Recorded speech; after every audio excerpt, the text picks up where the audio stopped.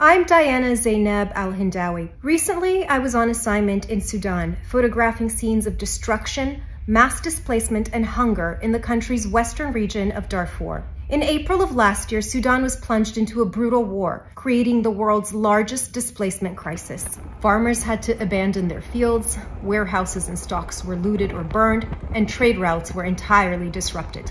Al Geneina, West Darfur's capital, bore visible signs of the fierce battles. The buildings along the central boulevard are marked by bullet holes and artillery strikes. For those that didn't leave, life is picking up again amidst the ruins. In Al Qasim school, for example, classes had resumed in January.